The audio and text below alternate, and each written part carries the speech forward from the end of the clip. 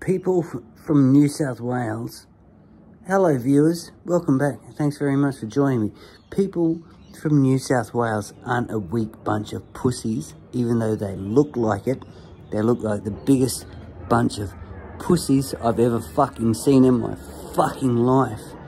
Especially those Aussie Cossack fans. My fucking God. Anyway, it's not their fault.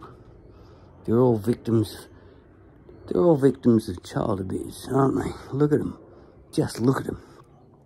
Brad Fittler's still hiding out. Brad Fittler's still hiding out in Queensland. Yes.